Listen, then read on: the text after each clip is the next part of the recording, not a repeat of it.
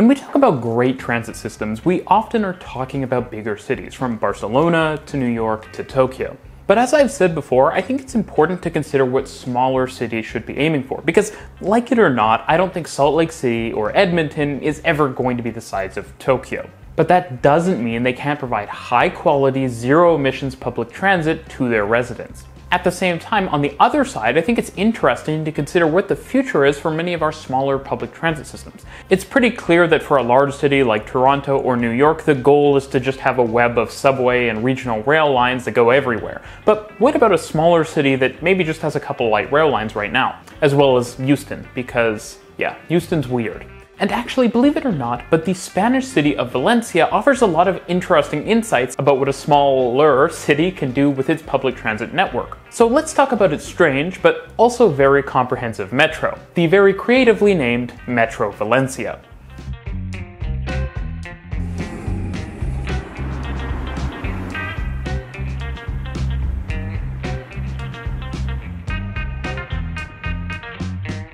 So Valencia has a very interesting network. It's what I might refer to as a spaghetti bowl of light rail. And it's perhaps unexpectedly quite good, despite feeling a little all over the place at some times. As with any good transit system, the network follows the shape of the city, which in particular sprawls out along the coast of the Mediterranean. Valencia doesn't exactly have a fully light rail metro network, but rather a hybrid of tram slash light metro slash suburban rail. Oh, transit terminology. But in many ways, Metro feels like the best catch-all term for it. Now, this is not an explainer video per se, but I am going to try to give you a lay of the land around Valencia and its metro, so let's do that. Despite me thinking that letters would be a nice thing to introduce into the Metro Valencia wayfinding system, because I always think they work quite well when you have a sort of bifurcated rapid transit network with two main styles of service, today the system consists entirely of numbered lines from 1 up to 10. Lines 4, 6, 8, and 10 have modern low-floor trams, mostly operating on the sort of tram-style alignments you would expect, and within the dense urban center of Valencia itself, except for line 10, the western extent of which is tunneled, despite it otherwise being a pretty typical low-floor tram line. On the other hand, the 1, 2, 3, 5, 7, and 9 lines have these adorable little 2.5 meter wide light metro trains that look kind of like the high floor light rail that you see in cities like Edmonton, St. Louis, and LA, at least if you squint. And since some of these cities are also adding low floor tram lines to their networks, I think having some familiarity with Valencia's metro network could be really helpful. Even if, like about half of the metros out there today, it doesn't really match the metro definition. Before Metro Valencia existed, Valencia was served by a number of 1 meter narrow gauge suburban rail lines to the north and south of the city, operating with 1500 volt DC overhead power lines. These services originally ran into surface terminals at the north and south of the city center. Now, like in an RER or S-Bahn style system, tunnels eventually replaced those terminals, though these tunnels didn't immediately connect, meaning that through running was not an initial feature of the system. That said, the initial tunnel still did provide a lot of benefit, bringing lines closer to the city center and freeing up space from the surface terminals. Eventually, though, in the 1980s, the tunnels were joined up, and in the mid 1990s, the original network sort of ceased to exist as it was originally conceived. That said, the fact that the Metro Valencia network at one point existed kind of disconnected from itself as a north and south section is something that's pretty unique for a rapid transit system, and kind of reminds me of Istanbul, which I talked about in a recent video. A generally fun urbanist tangent I do have to go on is that Valencia turned its river into a city center park. Essentially, because the river traveling through central Valencia flooded so badly and so frequently in the mid 20th century, it was rerouted south of the city. The old river valley through the center of the city was then turned into a park that cuts across the city center, which provides a ton of controlled water features, other attractions, and bridges passing over it, since this was originally a river valley. There are also two metro stations under it, which is kind of interesting. I should also mention the crazy City of the Arts complex, which was designed by Spanish architect Santiago Calatrava and is completely otherworldly. Now, of course, over time, more metro lines were built across the city's center, including an east west line across the core of the city, which connected to the original north south tunnel alignment and enabled even more through running along with other service patterns, including a pattern where trains go from the southern leg of the north-south tunnel to the eastern leg of the east-west tunnel. In the 1990s, modern trams were added as well, with the first modern tram system in Spain. And this is despite the fact that the whole network is still known, again, as Metro. These tram lines connect with the high floor lines to provide additional service in the urban core. Now, I should mention that the trams are also narrow, specifically meter gauge. Despite this, though, they don't actually interline with the high floor metro lines. Now, Valencia isn't giant, but its rail network is really comprehensive, at over 160 kilometers long. What's even more unique, though, is where that length comes from.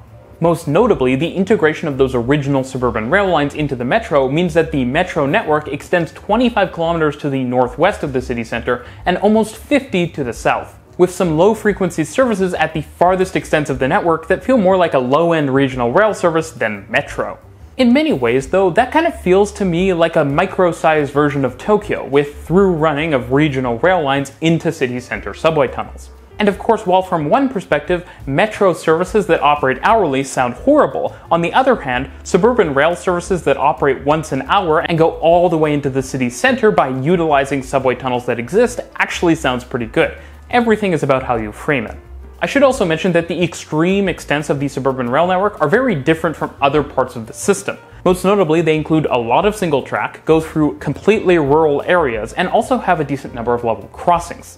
But all of this means that a number of small towns near Valencia get rail service that directly connects them into the city center. On top of all of this, the city has very much, for better or for worse, adopted the Zurich model of service naming. Despite there being 10 routes on paper, in reality there's more like 4 or 5 lines with a heavy dose of interlining and branching.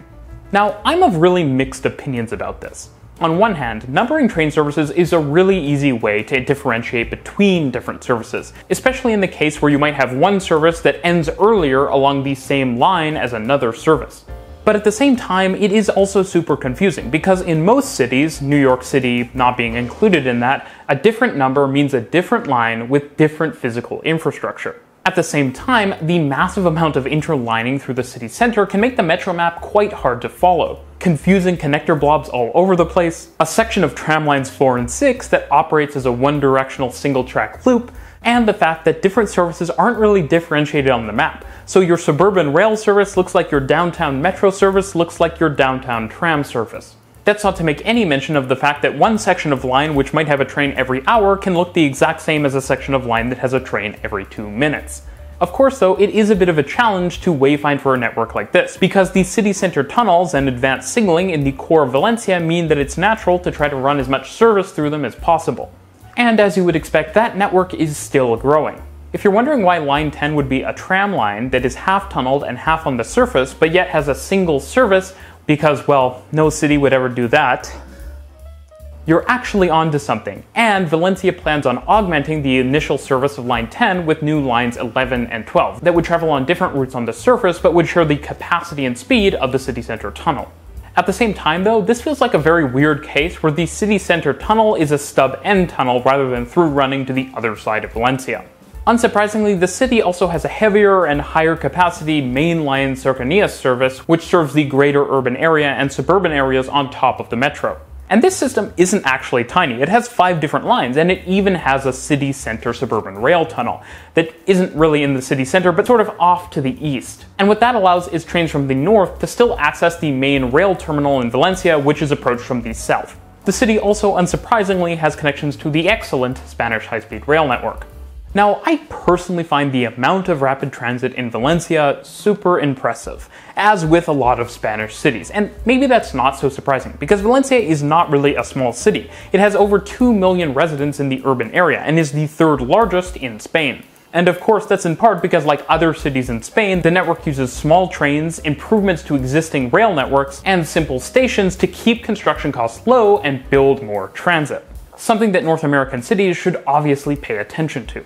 I also think North American cities could learn a lot from using tunnels strategically to allow trains from the suburbs, but also from outlying towns to travel right into the city center. While Edmonton, LA, and St. Louis all have or are building city center light rail tunnels, they could all use them much better by extending those suburban light rail services into outlying towns, but also by providing additional service within the tunnel to create a metro style service within it. They could also probably afford to build more light rail tunnels. I think these cities should all have multiple, and that would allow not only for more capacity for longer distance lines, but for more of those metro style services in the dense urban cores, while also minimizing the number of times people have to transfer in these often very large urban areas. Instead of investing in traditional North American diesel commuter rail, they could also take a page from Valencia by instead building extensions of their light rail networks to outlying towns, utilizing a lot of single track but also electrification and the nice trains that the light rail networks offer. Trams could also be used to provide more circumferential service, including in the dense city centers, to help densify them while also providing a more local form of higher order transit. Suffice to say, like many cities, Valencia's rail network has a ton of unique features and we should do our best to learn from it. Thanks for watching.